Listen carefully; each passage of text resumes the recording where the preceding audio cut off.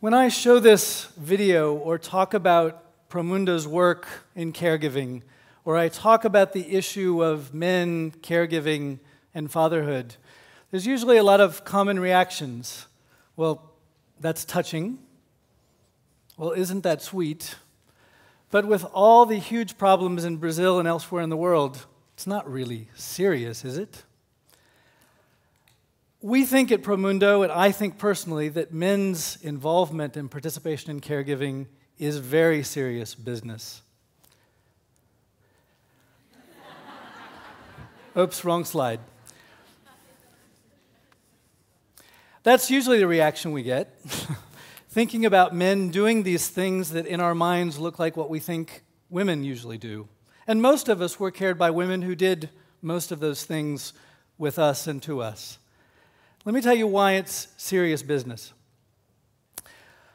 1999 2000, I was interviewing young men in low income areas of Chicago in the US and in favelas in Rio de Janeiro. I was interviewing young men who had participated in gangs or had found ways of getting out of gangs.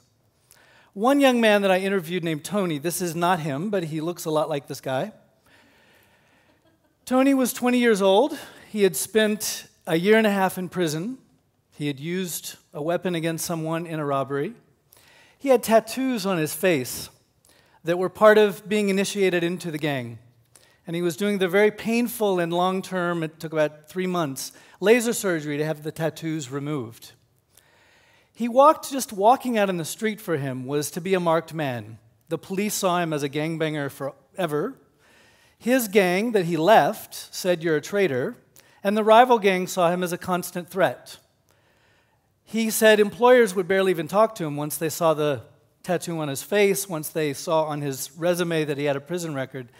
And I said, Tony, it was this cold winter night in Chicago. And I said, Tony, how are you going to get out of this life? What are you going to do? Tony was holding his one year old daughter in his arms when we did this interview.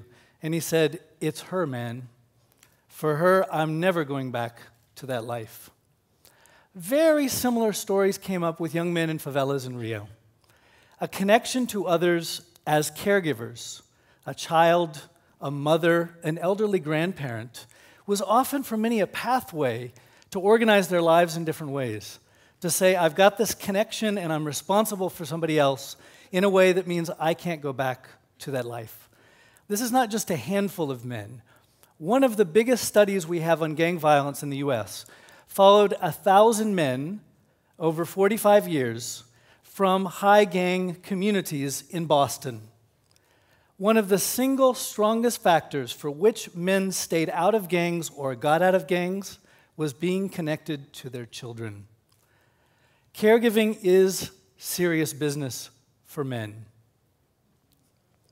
Let me talk about my most serious business about the same time that I was doing these interviews, which led to us creating Promundo and looking at ways that we built on voices of men who question violence, question the non participation of men as caregivers, my daughter was born. I was doing my PhD in child development. We study brain development, how children grow and thrive, and how they get ahead.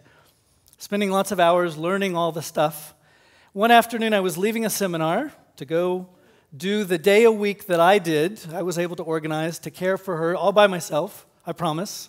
No mommy, no grandmother, no nanny, just me caring for her. That was the best child development degree, actually, much better than the doctorate. But I told my fellow students, hey, I've got to leave early. Sorry, I'll see you. And they went, oh, you're going to babysit. And I said, hold on a second here. Fathers don't babysit. We are caregivers. And they looked at me as if I were speaking a foreign language. Said, wait a minute, we teach this stuff, we study it, and we don't take it seriously as an activity that men and women should do every day. And that is one of the biggest challenges around caregiving. We don't take it seriously when women do it, and we don't take it very seriously when men do it.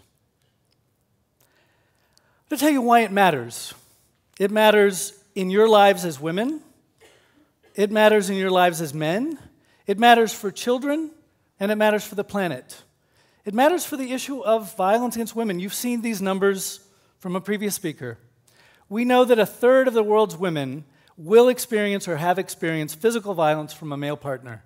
We've never made so much noise about this issue than this year during the 16 days of activism. It is on the global agenda. We're marching in many parts of the world, and yet we don't have evidence that we're having any impact on it. In fact, there's very little evidence that we've been able to bring it down, in spite of the laws, in spite of all that we're trying to do. The interesting thing to think about is we know which men are more likely to use violence. Men who watched it growing up, if they saw a man or their father or another man use violence against their mother growing up, they are twice as likely to use it. Also, men who have rigid notions of what it means to be men, men who think they're entitled to sex, are more likely to use rape. Men who experience other forms of violence, including corporal punishment, are more likely to use other forms of violence growing up. And which men are more likely not to use violence? men and women who had fathers like this. Protective factor for violence is having a father who was involved in your daily care work, who showed and modeled respect in his relationship with, your, with his mother, and who never used violence against your mother. It's time that we put that and make that serious a serious part of our prevention efforts. Anybody take a guess as to where this picture is from? the one country in the world where we've measured a change, a reduction of violence against women. Give you a clue, it's a cold country close to the Arctic Circle, about 5 million people. Norway? Okay. The one country in the world that we've seen a decline in violence against women is Norway. Mid 80s, they started one of the biggest and boldest experiments in gender equality ever a year of family leave, quotas to get women in the workplace, full package of gender equality things. They looked 20 years later what's going on. They got men to take, on average, two months of paternity leave. They got men's participation in care work almost equal to women. They, they did the same study 20 years later and measured what happened.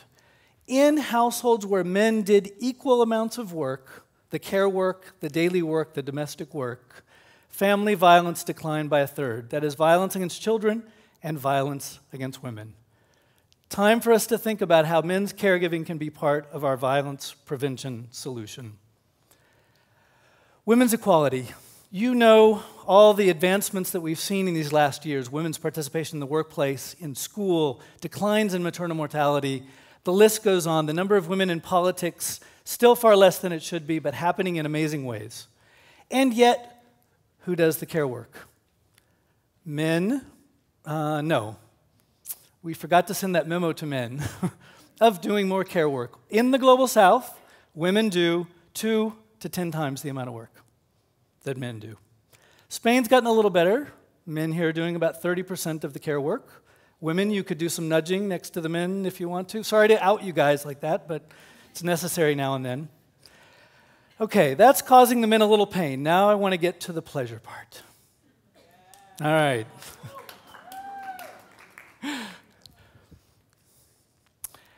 One of, we did a study over the last three years, 20,000 interviews. It's called the International Men and Gender Equality Survey, Images. 20,000 interviews, women and men across 10 countries. Ask women and men all kinds of things about their lives together. We asked women how much their partner participated in housework, care work, dividing the, the work at home. Where men did greater amounts of care work, not surprisingly, women were happier. Not surprisingly, women said they were sexually happier. This part's important sexually happier with him, with the partner. Not the delivery man, not the neighbor, but with him. So I'm guessing most of you here have probably figured that out in your relationships. If you haven't, let me show you a very important finding from our study. Ryan Gosling, I think you can read the top up there. It says, Make yourself comfortable while I pick up a pack of extra absorbent diapers. so, our study finds, guys, that women think we look like Ryan Gosling when we do the care work. Okay?